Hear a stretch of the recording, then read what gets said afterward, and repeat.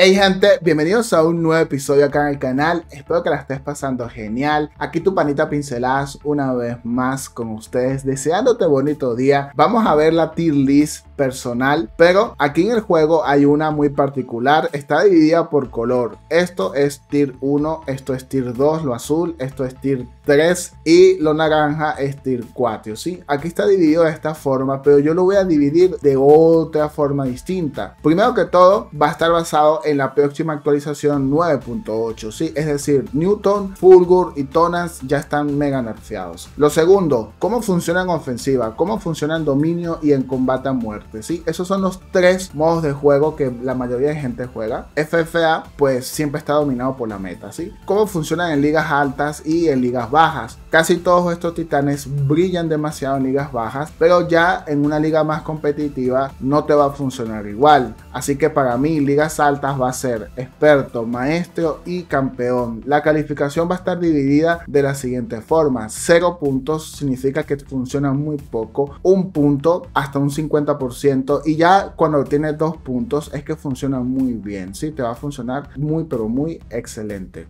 En el comentario fijado voy a dejar los enlaces de los ganadores de los sorteos pasados para que cheques. Igual te informo que todo está en la página de pinceladasgráficas.com, la página oficial.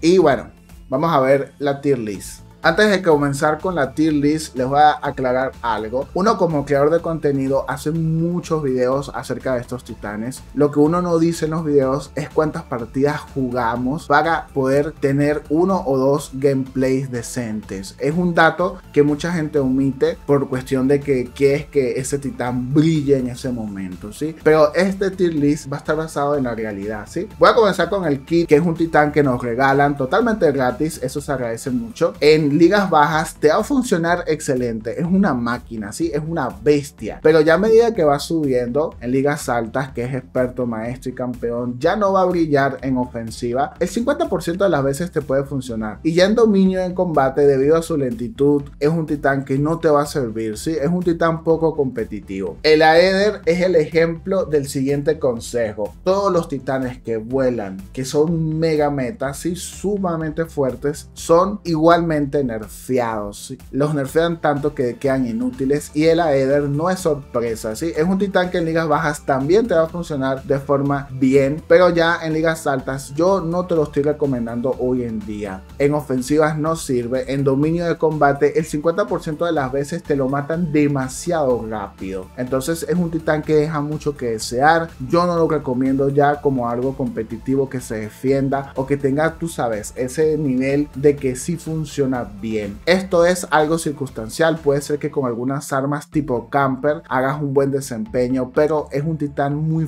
frágil, volando y cayendo te lo matan demasiado fácil y eso le resta cualquier tipo de nivel competitivo para que funcione en ligas altas. El Aumin prácticamente es lo mismo que le pasó a la Eder, es un titán que fue sumamente meta al principio del juego cuando sacaban estos titanes, ¿sí? Eh, hoy en día no funciona en ofensiva, no sirve en dominio y en combate más o menos a veces la gente puede hacer algo, pero en sí no sirven. Sí, yo no lo recomiendo para ligas altas. En ligas bajas sí te va a funcionar porque hace muchísimo daño y aguanta lo suficiente. El Arthur, el titán que por cierto tengo un tatuaje aquí, a mí me encanta. Es un titán que en ligas bajas es una bestia, pero en ligas altas te va a funcionar un 50% en ofensiva con escopetas. En dominio, de verdad que su lentitud lo vuelve poco competitivo. Puede funcionarte muchas veces, sí, pero de verdad que es muy poco competitivo y en combate a muerte yo creo que es donde puede brillar con armas de distancia larga y escondiéndose detrás de un edificio o utilizando su escudo. Lamentablemente para ligas altas no es competitivo. Hay gente que ya lo tiene maxeado y lo sabe usar y le va bien porque yo los he visto, pero en realidad es un titán que no sirve. No vale la pena que tú hoy lo compres y lo sigas subiendo de nivel o si lo tienes a nivel 50 lo sigas maxeando porque no funciona. Heimdall, me sorprende lo bien que sirve en ligas bajas. Yo te diría que este titán es el mejor para que comiences en ligas bajas, pero ya en liga experto, en liga maestro, cuando te salga gente full chetada con lo nuevo, es un titán que simplemente lo tienes que utilizar escondido atrás, tratando de cambiar, tratando de hacer alguno que otro movimiento para dar apoyo, pero no es un titán competitivo. En ofensiva no brilla, te lo matan muy fácil. Hay que entender cómo funciona ofensiva, qué tipo de titanes te vas a conseguir en ofensiva. En dominio de combate es donde va a brillar un 50% de las veces si lo sabes utilizar muy bien. Pero quedarse atrás escondido, yo ejemplo no,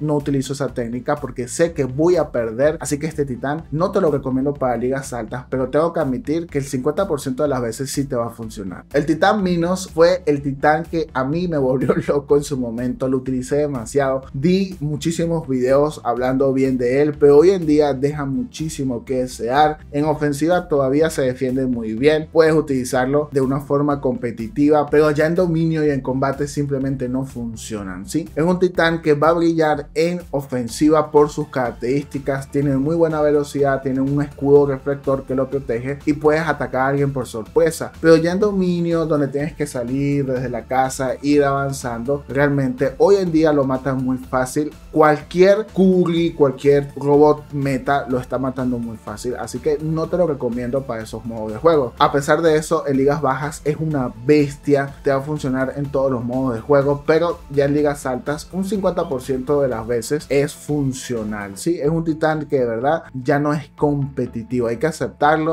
y tenerlo allí. Si tú lo tienes al máximo, todavía te funciona súper bien, pero eso no significa que a la gente nueva o a la gente que está buscando cambiar de titán le va a funcionar. Yo diría que el Noens sigue siendo la mejor opción como titán para soporte. Poder dar soporte a tres personas distintas lo vuelve muy competitivo todavía. A pesar de eso, en ofensiva no brilla por su dinámica así, titanes que brincan, que tienen escudos, que te atacan por sorpresa, etc. En dominio y en combate sí puedes comenzar a utilizarlo desde atrás. Es un titán que no sirve para el combate de cerca, pero que sí puedes dar muy buen soporte a tu equipo y eso lo vuelve muy competitivo. Yo diría que en ligas bajas es excelente, pero en liga campeón, en ligas más altas como experto y maestro, funciona un 50% de las veces. El charanga, el titán que tuvo un prime muy corto, sí, un momento así, tú sabes, caliente muy corto. Hoy en día en ofensiva hay gente que lo usa, pero no sirve, gente, sí, es muy lento, muy tosco, de verdad que te lo matas muy fácil, yo no lo recomiendo. En dominio lo veo por allí de vez en cuando y sí funciona con armas camper. En combate te va a funcionar mejor porque su habilidad es bastante competitiva. Si alguien se te acerca, le colocas Exile, que es como un Fake Chief, puedes campear desde, desde atrás, eh, te consigues quizás a alguien que te dé soporte. Ahí la dinámica es distinta y el Charanga pues brilla un poco más. Ojo, un poco más. Ya en ligas altas, yo en lo personal nunca lo veo, no es competitivo. Lo veo que es, no sé, 50 partidas dos o tres veces, así que no te lo puedo recomendar, no te va a funcionar. En ligas bajas va a ser seguro que una bestia porque tiene tres anclajes alfa, hace demasiado daño, pero hay que aceptar que ya en campeón nadie lo está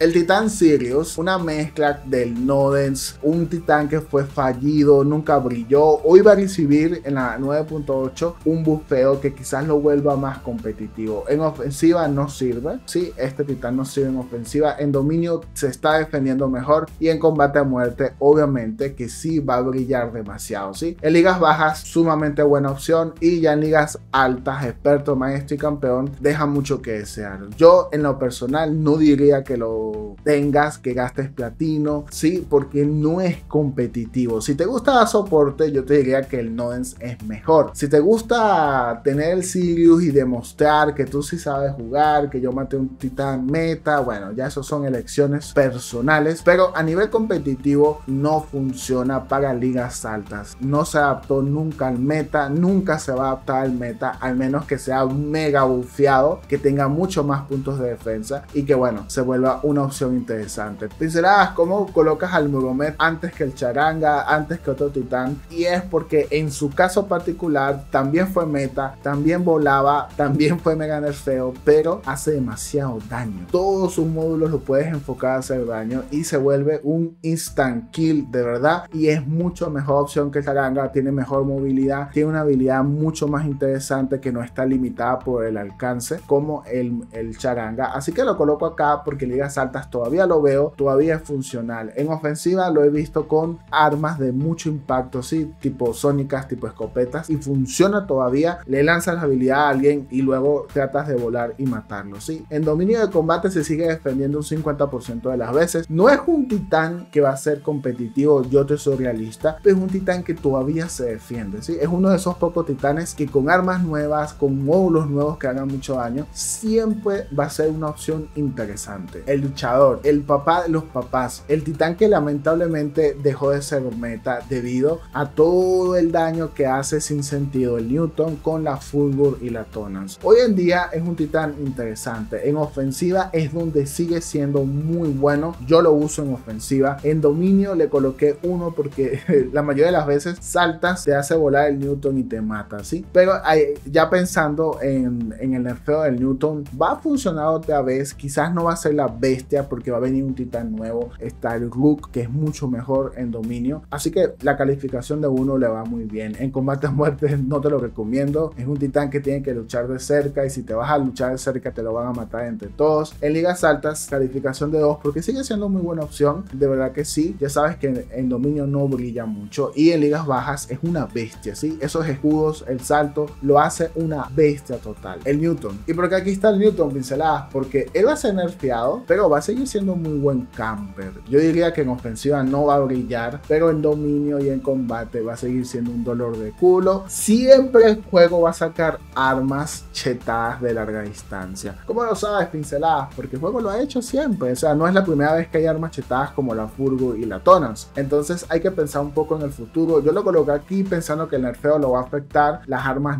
van a estar también nerfeadas, pero en cualquier momento sacan un arma de 600, 700, 800 metros y esto va a seguir siendo interesante. Vas a hacer volar a alguien, todo el equipo lo va a matar en combate a muerte, así que eso es un plus. Y en dominio la misma vaina, alguien por allá escondiéndose, un titán quizás enemigo, lo alzas, todo el mundo le va a hacer daño. Así que va a ser bastante competitivo esa, de esa parte. Yo creo que va a depender mucho si esa, esos puntos de defensa que le han quitado lo va a dejar muy frágil, ¿sí? En la 9.8, así que yo te diría que esto hay que tener cuidado si el nerfeo de los puntos de defensa lo va a afectar mucho, El Eiffel, el titán nuevo, el primer titán con tantos anclajes de arma, es una bestia, hace mucho daño. Sí que sí, en ofensiva no es mucho, pero se defiende. En dominio de combate es una bestialidad, mata a todo el mundo.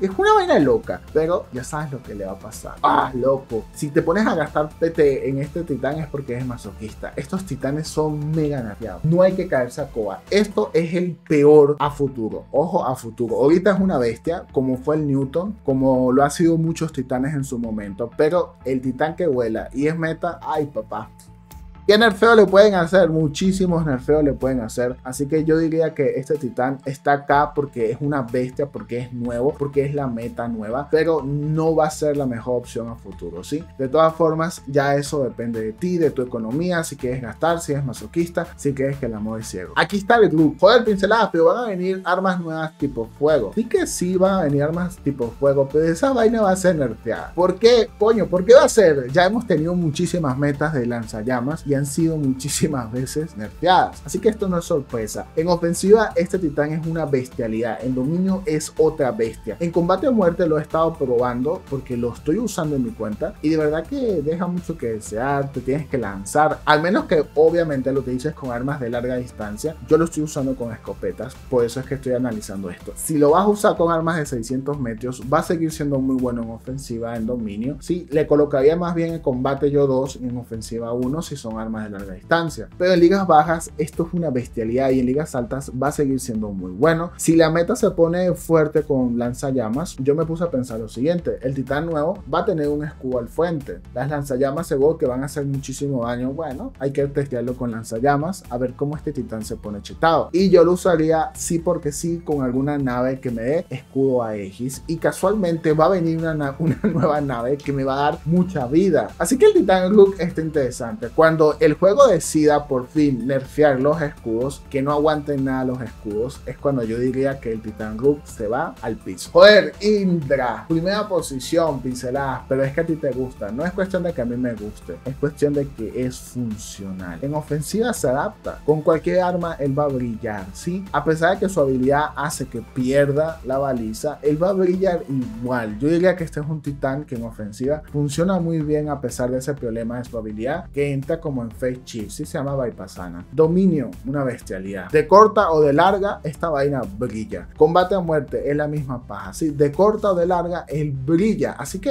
está aquí en este top por algo. Le coloqué 10 puntos, pero podría tener realmente 9, porque en ofensiva tiene ese problema. Pero como yo lo uso y a mí me funciona muy bien, yo diría que si lo sabes usar, te va a funcionar de una forma excelente. Así que está entre 9 y 10, pero quise poner un titán como la mejor opción. Y si tú eres free to play, no tienes muchos recursos y te gusta pensar, planificar en el futuro, yo diría que Lindra es ese titán que sí vale la pena, que nadie usa mucho, que se vuelve meta de repente cuando se volvió meta con las sónicas, fue super meta en ese momento. Y ya luego de las sónicas nerfeadas, ya Lindra quedó otra vez como un titán bien balanceado, ¿sí? Así que este titán le doy yo el top. Se les quiere gente, no se les olvide darle un like caso si les gusta esta clase de contenido y déjenme qué otro top quieren ver próximamente. Bye bye.